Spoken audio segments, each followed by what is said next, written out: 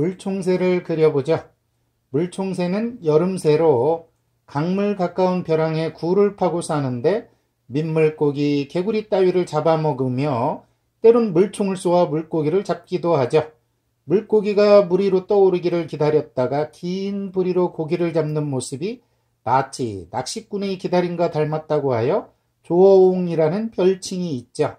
몸집이 참새보다 조금 크며 머리는 초록색, 등에서 꽁지까지는 하늘색, 날개 가장자리 부분은 초록색, 목과 턱은 흰색, 목 바로 아래는 붉은 빛이고 목 옆면에는 밤색과 흰색 얼룩이 있어 취조라고 하죠. 그럼 한번 물총새 그려보도록 하죠. 그러면 물총새를 한번 그려보도록 할게요. 네, 물총새 그리기. 이 물총새가 에, 얼마나 화려하고 그런지요. 이름조차 비취조 또는 취조라고 합니다. 예, 그, 풀을 취자, 세조자, 취조. 화법을 해보도록 하죠. 야, 당연히 새를 그릴 때 제가 제일 먼저 어, 하는 방법이 뭐였죠? 그렇죠. 항상 이 불이 먼저 했었죠. 저는 불이 1번을 요거를 가운데 선을 9선이라고 그랬죠. 요거 1번. 그 다음에 그거를 한 후에 2번 위에 상취를 했죠. 예, 이렇게.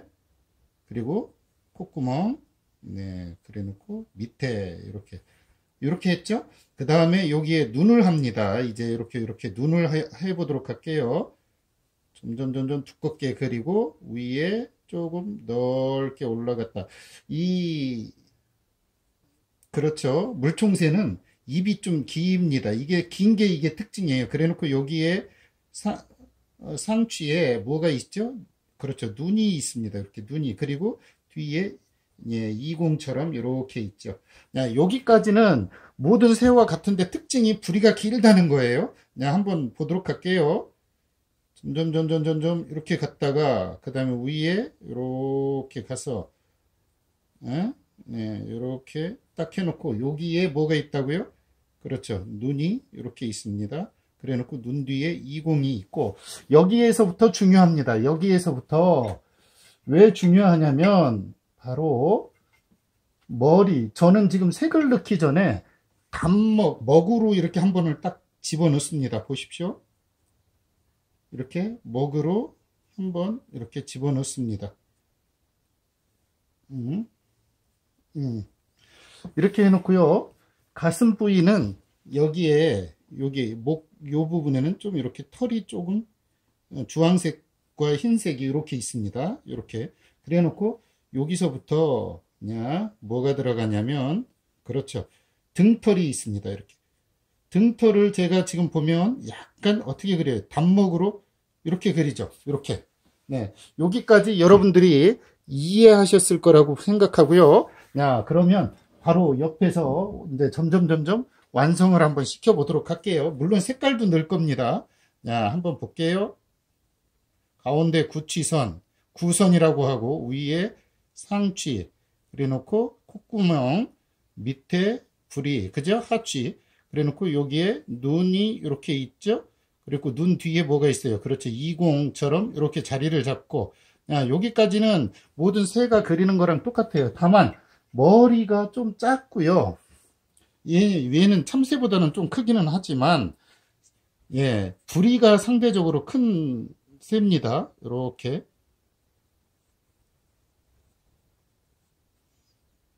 이렇게 상대적으로 부리가 큰 새예요.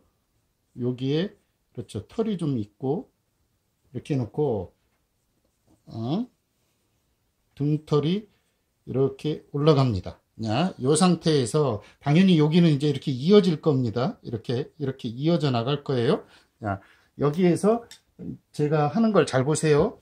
여기에 이렇게 흰색으로 좀 이렇게 털이 들어가고요. 여기도 이쪽으로 좀 이렇게 있을 겁니다. 그래 놓고 여기에 이렇게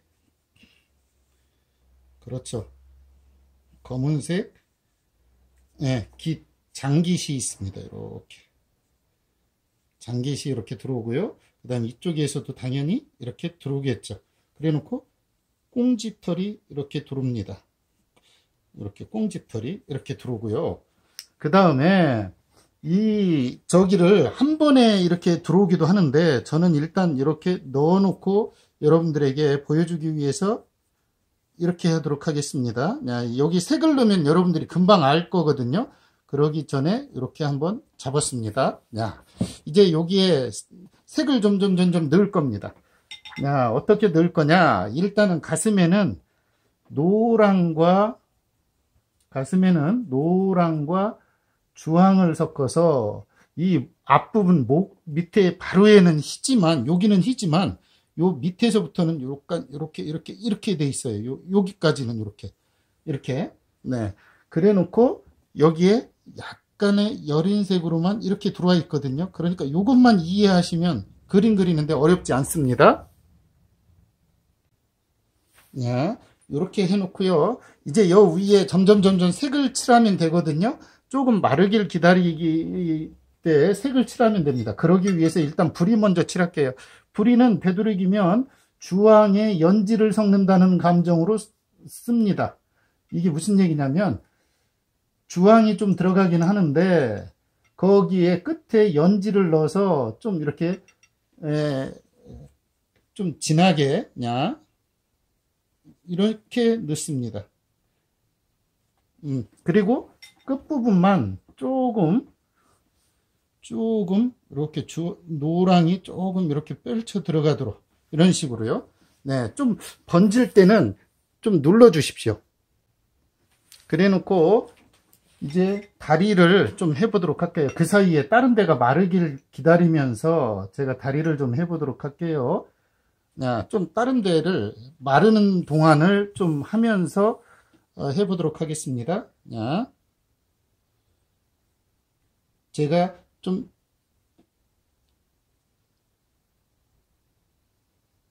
이렇게 좀 어디를 지금 잡고 있는 모양새로 그려보는 겁니다. 이렇게 예.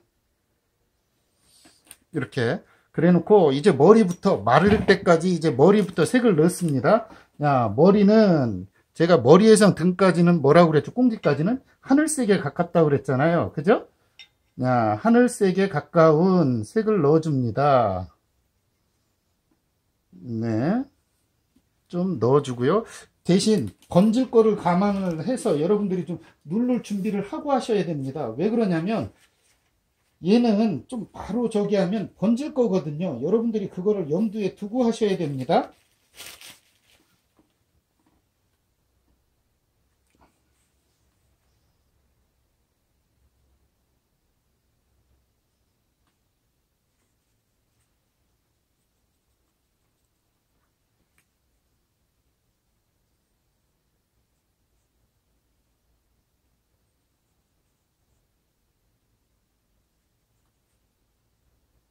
이렇게 그래 놓고 꽁지와 여기는 약간의 초록 계열.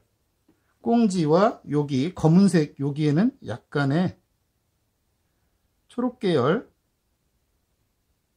이게 여러분들이 조금 더 확연히 마른 다음에 하면 더 좋지만 지금도 여러분이 색이 잘 보일 거라고 생각을 합니다. 이렇게. 그래 놓고요.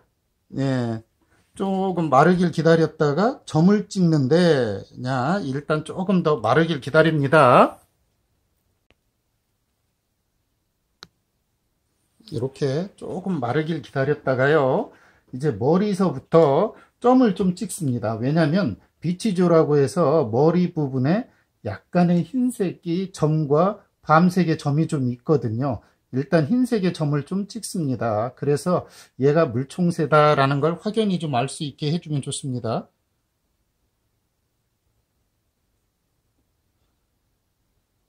이렇게 이 무늬가 좀 이 머리 위쪽만 좀 있게 찍어 주십시오. 이걸 너무 크게 찍으면 어색하거든요. 이렇게 작게 해서 좀 찍어 줍니다. 그래 놓고 등이나 이런 데도 한두 개만 이렇게 찍습니다. 이렇게. 물론 이때 색은 다른 색을 섞어서 찍어주는 게 좋습니다. 이렇게 이렇게 약간의 이렇게. 음. 이렇게. 야, 그래 놓고요. 다리에 당연히 그렇죠. 무늬가 여기 이렇게 이렇게 이렇게 무늬가 있습니다. 이렇게. 여러분한테 잘 보일 거라고 생각을 하고요. 자 이렇게. 그래 놓고 어, 여기에 이제, 에, 우리가 조금, 음,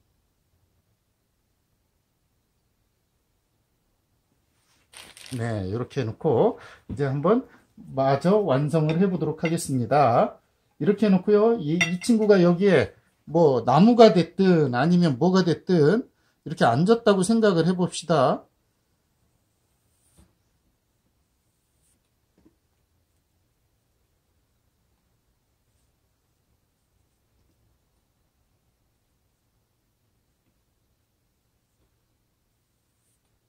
이렇게 그러면 물총새의 어떤 모양이 완전히 여러분에게 완성이 되죠? 물론 이런 동작만 있는 건 아니에요. 여러 형태를 바로 색으로 그리기도 합니다. 한번 색을 넣어서 한번 바로 직접 그리는 것도 한번 해볼까요? 뭐 다양하게 할 수 있으니까요.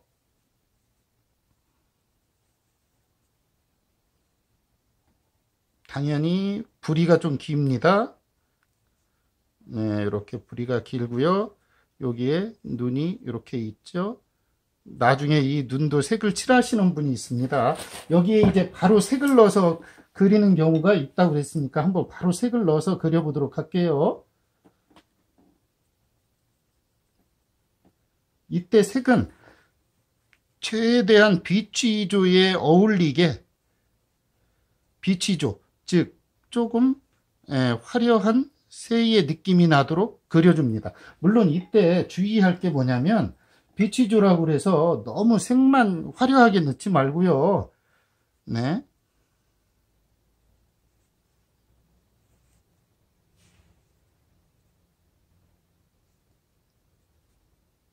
이렇게 네. 그래 놓고 이제 꼬리를 한번 그려봅니다. 이 깃털을 그리고 네, 거기에 맞춰서 그렇죠.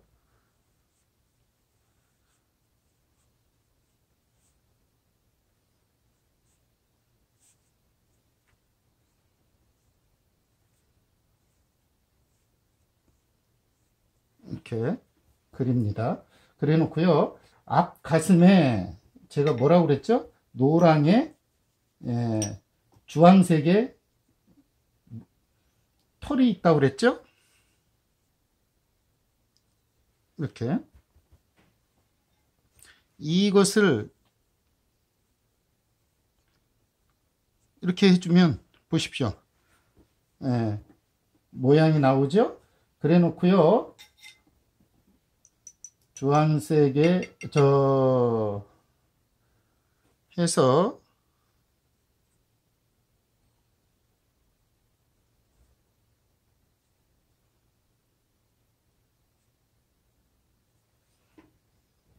고 예, 색을 칠해 줍니다. 부리색을 칠해 주고요. 부리색을 좀 칠해서 이렇게 음, 줍니다. 이렇게 음, 그 다음 이제 좀 마르길 기다리겠죠 당연히 예, 조금 마르길 기다렸다가 어, 무늬를 넣겠습니다. 자, 이렇게 이렇게 무늬를 넣습니다. 지금 덜 말른 상태라 그럴 테고요. 이렇게 무늬를 좀 넣어줍니다. 예.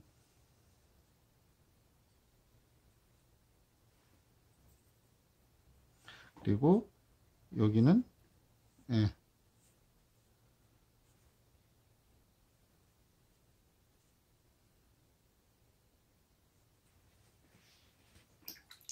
이렇게 넣어주면 어느 정도의 새의 무늬가 나오죠.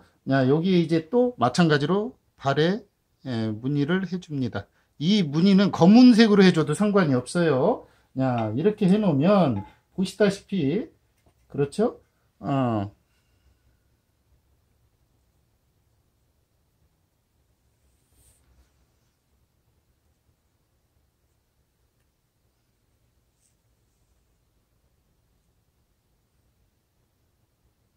네, 이렇게 어, 나오겠죠. 이런 식으로 물총새의 색감과 이 그리는 거에 에, 포인트를 좀 알려드리겠습니다. 처음엔 당연히 불이고요. 이 물총새의 머리는 무슨 색이라고 그랬죠? 머리에서 꽁지까지는 하늘색입니다. 하늘색. 그리고 중간중간에 그렇죠. 초록색이 좀 들어간다는 것. 그 다음에 두 번째로 배 부분 있죠. 배. 목 바로 밑에 배. 이 배 부분은 그렇죠. 무슨 색이 있냐면 주황색이 있습니다. 주황색. 그 우리 주황색이 좀 있고요. 그 다음에 부리는 화려하게 밝은 연지와 주황색을 섞어서 아주 화려하게 해줍니다. 예, 연지와 주황색을 섞어서 화려하게 좀 넣어주고요. 그 다음에 발가락도 마찬가지입니다. 그렇게 해주고요. 발톱도 그렇게 해주고요. 그 다음에 이 날개 부분에 날개의 검은 부분을 해놨더니 날개 깃은 무슨 색이냐면 그렇죠. 초록색입니다. 물론 이게 햇빛에 의해서 달리 보이기도 해요. 그러니까 이거 어, 있고 머리에 꽁지에 하늘색 해놓고 여기에 플러스 흰색 점이 있다는 걸 알면 더 어, 완연한 머리 모양이 완성이 되겠죠? 이렇게 해서 이 물총새를 그리면 여러분들이 제대로 물총새를 그리는 게 되겠습니다. 그러면 한번 완성작도 한번 해보도록 하죠.